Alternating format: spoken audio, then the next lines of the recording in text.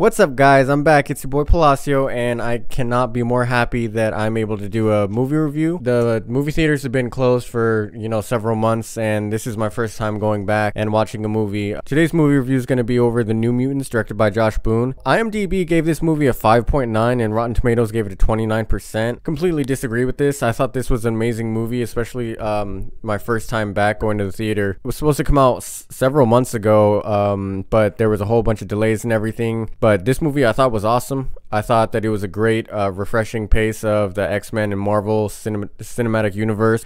It was, it, it definitely had that, uh, that Logan feel where Logan was rated R and this film was rated PG-13 and honestly I don't know how I don't know how they got away with uh, PG-13 for this film because they curse a lot there's a lot of you know sexual tension in this and then they have like um, a lot of violence um, it's not like gore violence but it's I, I don't think I would take my 13 year old to see this movie. Well, I don't think a normal person should see take a 13 year old to see this movie. It was definitely like up there with Logan, if if you know what I mean. This movie's main character is Dani Moonstar, uh, played by Blu Hunt, I think it's her name, B L U Hunt. She's uh plays a Native American, and uh, she has these powers that we're trying to figure out through the whole film. Uh, she does a pretty good job. I think that the uh, supporting cast is a lot better at acting than she does, and that that's not necessarily a take away from her. Um, the beginning of this movie starts with a, a Native American quote. They say that there's two bears in you. I've heard this quote as two wolves, but in this movie they do two bears, and I think that they changed it for the sake of the movie because uh, she like projects a bear in in her dreams or whatever when she's uh, psychic or I don't know. It's not psychic, but like she brings out her dreams. I- am not Native American, so I don't know personally if it's the correct quote or not. But uh, just the way that I've heard it is there's two wolves in every person, and in this movie they do two bears. It's not a huge difference, but I just noticed it at the very beginning. Uh, the opening scene, scene is okay. Um, they have her waking up, and there's something going on in her reservation. Her dad tries to take her out, keep her safe, and then he dies, and then she wakes up in a hospital. So that's where they stand. I think it's a good beginning. They set the tone of this movie that it's going to be kind of dark, um, and you know, by no means it's not going to be like a happy Avengers um, or X Men movie. I think that's a good thing. Um, this movie is a lot more realistic. Uh, it's still like a superhero movie, so it's not like set in real, real life but uh, it's definitely more believable than Avengers, where there's people flying around everywhere. You know, th- these uh, these kids basically they're teenagers that have these powers. They're doing laundry and they're washing dishes and stuff like that, and it just makes the the characters a little more uh, realistic, and you can kind of feel for what they're going through a little more, as opposed to like Captain America, who's doing all this crazy stuff and you know, you, you see him more like as an idol, and these kids are just kids with powers, so it's pretty cool. So Anya Taylor is a supporting cast member in this movie, and I think that she does the best at acting. Um, she was in Mr. Glass, and she's like, I don't know if it's just the way she looks or her acting skills, but she plays a like kind of crazy person with problems beautifully. And in this in this movie, the character definitely has some problems. Um, the character's name is Magik, I think. She plays a girl, a little girl, probably like four or five, that gets abused by these Slender Man looking people and um, she goes to like her special place in her head to get away from it and everything. I just think it works. The her character is awesome. Her powers are pretty cool, and then she doesn't just go, "Oh, I have powers now, so this doesn't bother me anymore." She has a traumatic experience as a child, and when these people show up again in her life, even though she doesn't think that it's real or it might not be real, we can't tell as an audience member. Um, she breaks down and is in fear, and you know that's normal traumatic stuff happens and even though you're past it, it even if you have powers or not you know she could slice down these people with her like laser sword or whatever is got going on with her arm. Um, she can do that very easily but uh, this script does a good job at um, using her backstory to their advantage and making it a little more um, realistic and you, are able to feel for the character in this movie. I think all of the characters um, they they play a great perfor- they have a great performance. They play amazing as their uh, characters. And there wasn't a single uh, supporting cast member that was boring. I enjoyed seeing every single one of these um, these kids. Well I, I think they're in their 20s because in movies 20 year olds always play teenagers for some reason. I don't know it's just a thing in hollywood. But anyway these um, these kids essentially they are very enjoyable when you watch them on screen. None of them are boring um, you know, I, it it didn't feel like there was one person who everyone else was just trying to like support and just bring up. Like I said earlier in the movie, um, the main um, the main character. Dani, she uh, she's okay in the film, but by no means is it like, oh, I want to see her on the screen the entire time. The supporting cast does an amazing job with their story, their script, and everything. I love love the fact that they did the Buffy the Vampire Slayers references and shoutouts, um, and as a way to foreshadow what's gonna what's gonna happen in the um in in the future of the film. Uh, when I saw the Buffy the Vampire Slayer, um, the episode where the witch uh, with powers and stuff, you, you know, they're lesbian in that in that TV show and they're kissing and stuff. I'm like, oh, okay, so Rahne is gonna be attracted to the main character. Like it was a good foreshadow, and I just like the fact that they just threw in that Buffy Buffy the Vampire Slayer reference. It was pretty cool.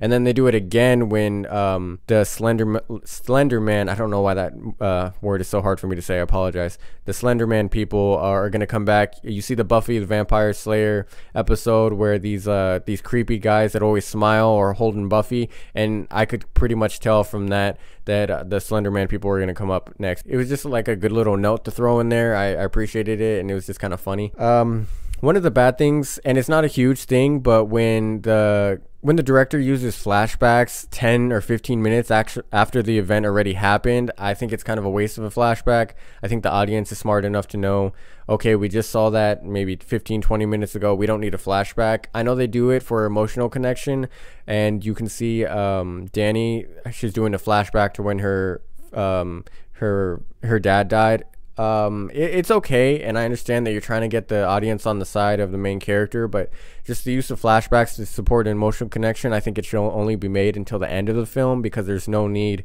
to show them what just happened. I know it was like 15, 20 minutes, but I still think that that's too soon for a flashback. That's just my personal opinion. You know, if you guys have different opinions, let me know. This movie had great pace. It was a great story, had great characters, great um, actors and actresses for IMDb and Rotten Tomatoes to give it 29% or 50, 60%. I think that's terrible. Um, this movie was definitely worth watching. I would go and watch this movie again, even though I know what's going to happen. It's almost like a mystery movie where we don't know the, the, main character's uh, powers and we're trying to figure that out with the, the cast members at the time or with the characters at the time. And i like I, I, like that fact personally that i don't know more than the people or the characters that are that are in the movie and we're both trying to figure it out at the same time. Because it lets us take that kind of mystery direction and we take clues from what the uh, what the movie's showing us and so do the the characters. So it's kind of it's nice to see that um, we're doing a play by play and we can put ourselves into the movie as one of the characters trying to figure it out as opposed to them just throwing some dialogue and saying oh this happened because of this. I think it's really really lazy and i'm glad that this movie doesn't do it very often. When whenever you have a superhero movie obviously you're going to use cgi but i don't think that they overuse it too much um, obviously, at the end of the movie, they're showing everybody's powers, and throughout this movie, you get a little glimpse of everyone's powers. But they use some practical effects. The character Rahne, she transforms into a wolf. Whenever we see her as a wolf, for the most part in this movie, it's an actual wolf. It's not some CGI wolf. Like they don't need to put uh, a, a computer animated wolf in this movie the entire time. We're able to get some practical effects. Now, when Henry Zaga as Sunspot in this movie, he's on um, he's on the screen and we're having to see his powers. Obviously, he's gonna be CGI. There's no way around that. You can't do a whole lot of practical effects with that.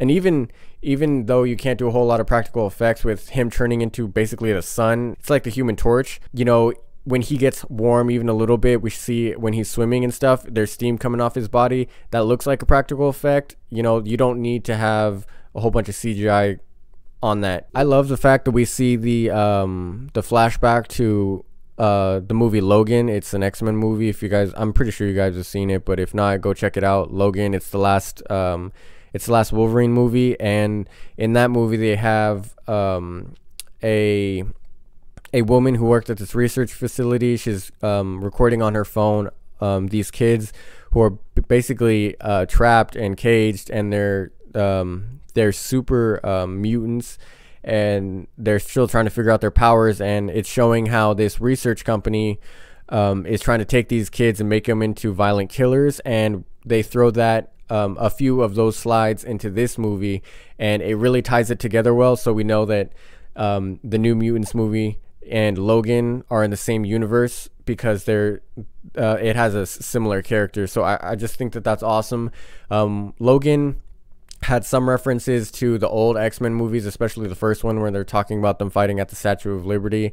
Um, and then this movie ties into Logan, so that would assume that the entire X Men movies. I know the whole time travel thing gets a bit wonky, but it would mean that this one is also in the same cinematic universe as the others, which super awesome. This isn't just a standalone movie like the Joker, where they have obviously Batman in the in the Joker universe, but it's not tied to like the Dark Knight movies or anything like that. So kudos to them. So the ending of this movie was pretty good. Um, you know, Dr. Reyes dies from the wolf, but her whole power is protective uh, barriers. So why couldn't she just do a protective barrier whenever she heard the wolf coming? It's not like she didn't know it was, or I'm sorry, the bear. It's not like she didn't know that the bear was coming. Like obviously she knew. So why couldn't she just do a force field around herself? I don't know.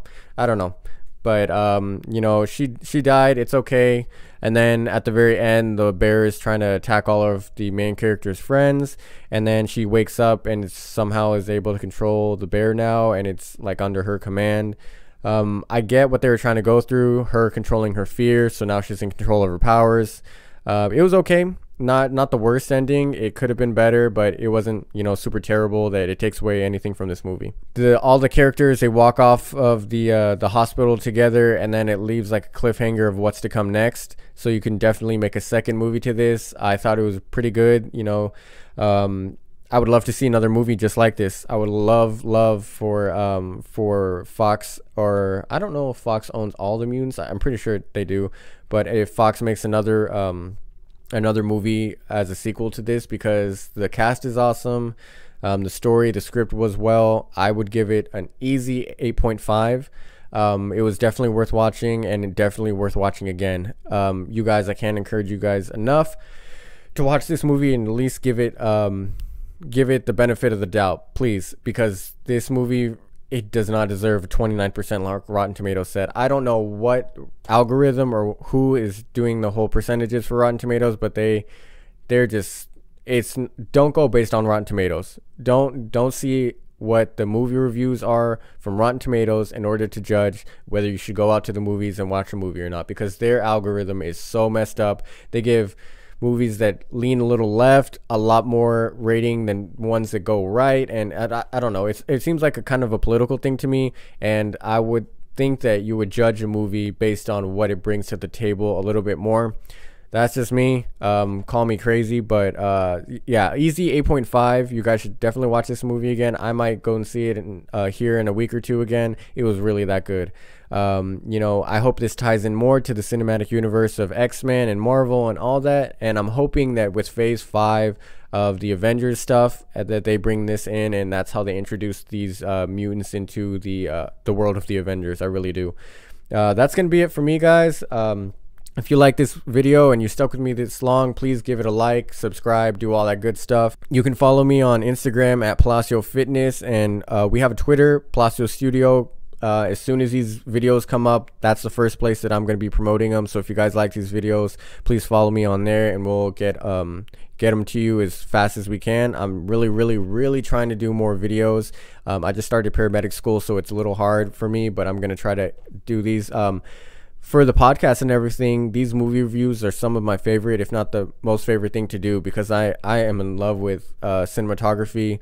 I I love going to the movie theater and watching movies, everything that comes out, and getting super nerdy in with it. So um, please, please um, subs- uh, subscribe to us and check us out. Um, I'll try to get more videos out if I can. I'm gonna try to do one at least a week. So that's pretty much it, guys. Uh, don't forget to go to the gym and lift something heavy. Peace.